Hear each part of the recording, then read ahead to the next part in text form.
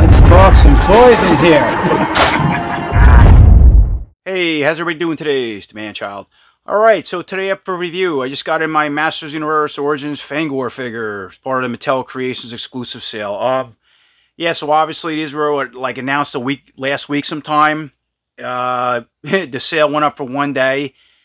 They I, they sold out in about 30 minutes, and most people I talked to between YouTube and Instagram seem to get one or three, as far as I know. You know, so it did okay before it sold out, or at least I hope everybody got one that was trying to get one. Um, and then mine shipped the next day, along with a lot of other people's uh, Fangor orders, and there's still more shipping. Uh, that's that's awesome, and I really hope that the future figures with Mattel Creation going forward happen, you know, does this. Now I don't know, you know, I guess it's gonna go figure to figure. I know Lady Slither's up next. I heard rumors in September next month she might go up for sale. That would be awesome. But yeah, I hope this is the way the line goes from now on at Mattel Creations. So Fangor, of course, comes in this cool mailer box, like a lot of the exclusives do, with the pencil sketching. And it's pretty much the front and the back. They're, yeah, so just do a couple different pose them in attack mode. Both have the long fangs though maybe one would have the short fangs. That one's awesome with the moon in the background of sword, so comes in that. So taking a closer look at Fangor's package, what's awesome, he comes with that collector-friendly packaging, just like Kobra Khan came with. So yeah, you get the Snake Man logo sticker on the front. Um, yeah, it doesn't have a punch out or nothing like that to hang it. New for 23.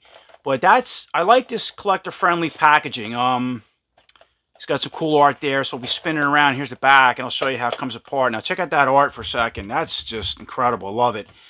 We have, uh, yeah, Fangor jumping in that pose like we've seen on the pencil art. And if you see this, check that out. You got like a snake uh, attack playset going on there, castle. I like to see that in Origins, right? You never know the way this line's going. Got Hero over here. I can see Hero coming in the line with the Origins at some point. You know, uh, you can even make one with the Masterverse 1 He-Man body. And then down over here, we got Lady Slither. I can't wait to get her. Like I said, I think September she's going up for pre-order, hopefully. And what I would be interesting to know is if the, we can use the tail for King Hiss and other Snake Men. I, I hope they do that. I know she comes with the legs. And I'm also curious if she's going to be in a deluxe or how she's going to be set up in packaging. But that tail is a big deal for a lot of us, creating a, a snake um, serpent with a lot of figures. Once again, go back to King Hiss. So I hope you can do that with her. So once again, taking a look at the collector-friendly packaging. For those who are unfamiliar how it comes apart, that's it. Just slide the card out. Beautiful card. You can hold on to it. You take this piece off. There's your figure and book. Awesome. So before we take a look at the Fangor figure, of course he comes with his own unique comic now with Fangor on the front cover called Eternity Remastered. Now it comes in this protective plastic um, piece, which is awesome. So open it up, take a look what we got here, and you can try to pause and read. It's first time I'm looking at it myself see what's going on here. So we got, okay, looks like supposed to be He-Man or something. Huh. Castle Grayskull, but it's, look, it's altered. It has a snake face on it. Wow. Can't wait to read this later. look at that. So it's like He-Man, he's like Slither. He has the, wow, look, some nods going there to, yeah, so hopefully once again at Lady Slither bottom, you can, you know, put, um, other figures halves on top, especially the males. I hope it ain't a female peg. I think they're different, but that's what it's showing me here. And that'd be a cool customer. Maybe another figure coming, some kind of uh, alternate He-Man. All right, so we got Castle Grayskull He-Man back over here. All right, we got Anti-Eternity He-Man on this side. I'm trying to read a little bit. So it seems like he's in a dream or something, just briefly what I'm reading. Yeah, or, some kind of mind control through the Snake Men. Awesome art, though. Really cool. Got the Snake Troopers here. Okay, here's Fangor in the back. All right, take a closer look at that. Flip the next page. See what we got going on. Okay, yep, Fangor. Now here's Lady Slither sitting in the throne back there. There's some other snake men going on. Some other different troopers. This is here. Okay, Fangor once again. Battling going on here. Now he's regular He-Man. I guess he turned finally. Flip the page. We got, what is this now? Come on. Okay, so some kind of mind control device. Oh, look at that. Cosmic He-Man.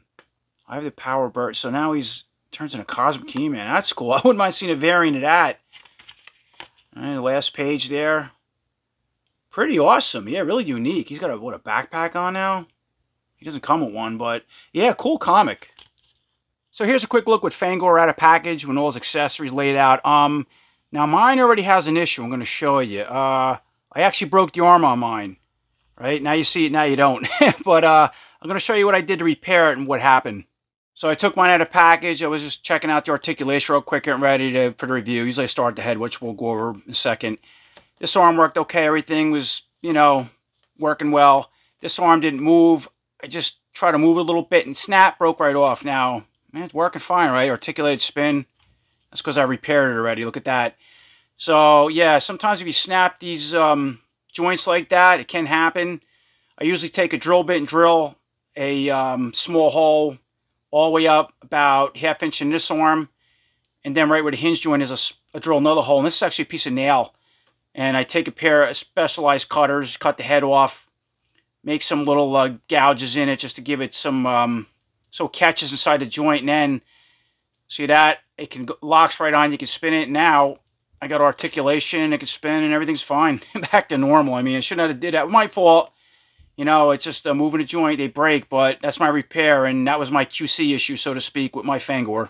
So aside breaking my arm, repairing it as I showed, uh, let's check out the head sculpt. The head sculpt is awesome. They, I mean, this Fangor overall looks a lot like the class, like it could be in a classics or something to me a little bit. You know, Masterverse. But of course, he's smaller. I, I love the detail and just the paint, the overall look. Now it looks like he's just basically using King Hiss's arms and legs. So I'll compare that a little bit. But as far as the head, I loved. I just yeah, the open mouth, the teeth, the um. So of course he has the short fangs, which will change out, and uh, yeah, they look cool. Some of the images they look goofy, but now I have them in hand. They, you know, the the short ones are okay if you don't want to use the long ones. Now the head, so as far as the head articulation, can spin left to right, go down all the way that, you know, about that far and back. Uh, yeah, check out all the details, the scales, the, just the deep yellow eyes. Um, now this mouth isn't articulated, but it is rubber, this part, and it can move. Actually, the whole, okay, the whole head is rubber. All right, so look at the back, just all the different, uh, yeah, just the ridges and scales and whatnot. Now, as far as the teeth, so the short ones looks like they're just gonna, you're gonna kind of, looks like they pull out like that pull. Here's this gum, and it's just a piece that plugs in like that as far as the uh, short teeth and how to go in. And now here's a quick look at the uh, long fangs. So they're just, yeah, that's awesome. Um, like the way they're painted. Same, obviously, gum piece. They're pretty soft and flexible, and then we'll pop, we'll snap that in place. And now here's a look with the long fangs on. Um, you can kind of, yeah, once you snap them in, they're they're flexible enough where you can bend them down or keep them up. They're meant to kind of stick out like that. Yeah, it looks cool. You know, uh, the only thing is, I wonder if, okay, so if you pull the head all the way back, just how they would strike your opponent, you know, if they, because it looked like they were going to hang down too low. But I guess once, yeah, the head's back, you move them up, and you want to, however you want to position it with a figure, which we'll try soon. They work, they work okay. So moving down to chest and buck, Fangor comes with some new armor that's just unique for him. Uh, yeah, I love these snakes that are sculpted in here. And they're kind of like, um, they're protruding outward, you know, it's not flat to the armor, painted in the same green color as the skin. That's pretty cool. Um, it looks like there's two tabs here, so let's flip it around. It's not on the back, just flat. Oh, check that out. So snakes go all the way around. Okay, and they stop here on both sides. Pretty cool. So to pop the armor off, let's see what it looks like on the arm. We're going to pop the buckles on each side. Do this one first. And snap this side. And then we can pull the armor right off. I think we can leave the head and fangs on everything. Here's a little closer look at the armor off the body. Once again, yeah, so we know we have the raised snakes here. We got this uh, gold collar piece, paint all the way around here. It's about it. It's pretty soft. And now here's a quick look with the buck with the armored off Fangor. Um, yeah, it's just a He-Man Skeletor style buck. And once again, the arms are exactly the same sculpt as King Hiss's arms. There's a King Hiss arm here, but obviously different color. And so he comes with different wrist bracers that are part of the sculpt there. Pretty cool. Match the belt and everything. Uh, back to the arm articulation. Let's do with the armor off. Now, we already know I broke my arm here. It is repaired. It's working okay, but you can go up, down, left, right, right? Spin a little bit, bend up at the elbow like this. Fangor comes with two semi-weapon gripping hands, I call them, or semi-closed hands, and they can spin, go in and out. And even with this um, arm here, so I know mine spins, and I got to work as I showed, and it can still go up and down, spin in and out. Whole deal, hands. And so for a minute, let's just pop. So we got a regular ball peg here. I'm going to pop that arm off just for just customs. And, of course, the waist comes apart like that. So putting everything back on, we know he spins at the waist, comes apart at the waist. Um, he has his own unique uh, belt now. That's all part. looks like it's, I don't know if that comes off. Doesn't look like it, or it looks like it might be glued. looks like mine might be glued around the uh, loincloth. So you have a typical He-Man Skeletor loincloth, or is that sculpted? No, it's not sculpted. It's it it can separate, but it's like it's glued or pressed on in mine. You can see that, but it does. You can move it. And take a look at the front of the belt now. So once again, yeah, I can't. It does come off, but it's it's not meant to. Um, yeah, cool. Uh, it's got a snake symbol there with a gold, just gold plate. It's uh, that's just painted on. It looks like just that's not like raised like the snakes were in the armored. And a loincloth. It looks like it. I want to say it. Yeah, he actually it looks a little bit different to me kind of. When I looked under this belt, it looks like there's a groove in here the belt sits on. It's possibly glue. So it's a short loincloth, but the sculpting looks a little bit different. So I just want to bring in the first release He-Man for a minute. Um, yeah, it's so once again it's a short loincloth, but it is it is a little different. It's more defined and hangs down lower here if you can see it in a typical He-Man uh, loincloth, at least the first release. There's a front back. So this one has more detail in it. So moving down to the legs now, as far as the articulation, go way out, right? Go forward, bend back, bend up at the knee like this. You can spin at the knee. Uh, yeah, really cool. Not really boots, but like ankle bracer guards going around here. Uh, yeah, just a brown. They can you can spin at those two, and these can come off, so you can always change them regular boots or something. You didn't want to, uh, you know, didn't like this this setup. Um, and it's uh, so these are the gold pieces that go up to the knees are cool, but it's just it's all part of the same sculpt. These are just painted, not like it's a separate piece see all the detail on them. And then, of course, the foot is one of the typical snake man foot. You can spin on a hinge joint go up and down. And the legs, too, side the boots. Bringing in King Hiss for a second. See, so it's the same type of leg as King Hiss, but different color and different boots.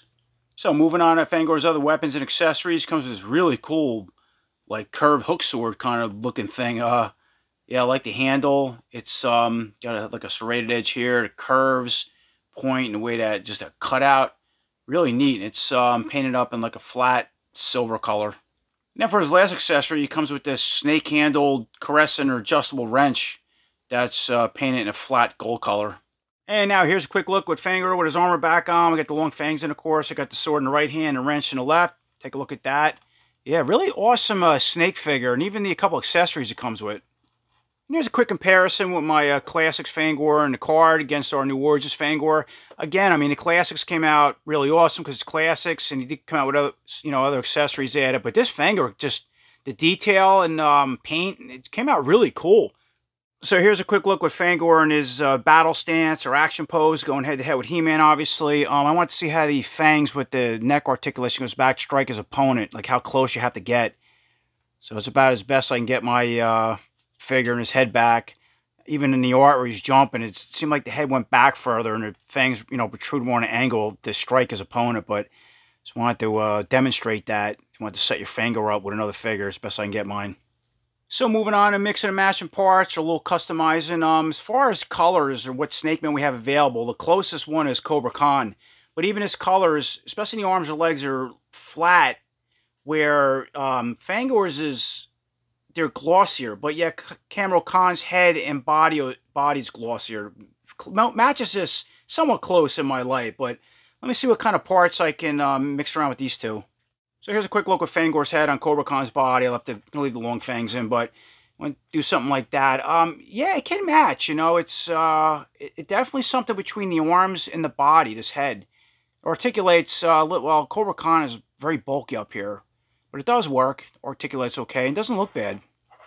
And now here's a look at Kobra Khan's head on Fangor's body with the armor on. Uh, once again, yeah, and under my light, that head does match the arms and legs really well. And of course, the body's flat under the armor will leave that, but it works really cool. And putting Fangor's head back on a Fangor body, I want to try to King Hiss Serpent arms on this. Take a look at that. Looks pretty cool. And now, of course, leaving the King Hiss Serpent arms on, I put King Hiss's head on that body, so we're making another version of King Hiss with the armored different color legs. I was hoping this coil would hide that green on the armor. You kind of can, depending how you position it. So here's another version of King Hiss. So I just took uh, everything apart and I put the King Hiss body on where it's all yellow underneath. Put Fangor's body, you know, armored on his body. We got the lower legs, everything else set up. So all we're doing is just, yeah, making another King Hiss without this, you know, brighter green color in the arms, but using the um, Fangor's lower, uh, you know, legs and then the armored and I just took the serpent arms off, put Fangor's main arms on. Of course, we can still see yellow under the body, so I kept the King Hiss um, serpent head on. Everything else set up the same. And then the other thing I want to do is put some regular boots on Fangor's feet. So, of course, I used, um, these are King Hiss's boots. over these uh, creature feet with the ankle bracer uh, shin guard things going. What's really cool is these boots. The color almost matches the armor and bracers perfect, at least under my light. And here's a quick look with the new Fangor on top of the new Origin Snake Mountain. I don't know, he just goes good up there with this giant striking snake. Alright, so that pretty much wraps up my review for the new Origins Fangor figure. I think it came out awesome. You know, I couldn't be happier. Just his overall design look, paint, armor, the fangs, uh, weapons. Of course, mine, I broke the arm off, but, you know, it could happen. I've had it with other figures. Either try to get another one or you fix it. I fixed mine. It's working fine. Side that, uh, it's, uh, it's just so awesome to see so many Snake Men out now. And once again, we got Lady Slither coming. We got a four-pack. There's uh, Mattel. Somebody that really likes the Snake Men. Doing a great job. Keep them coming. So I appreciate all you guys watching. And until next time, take care.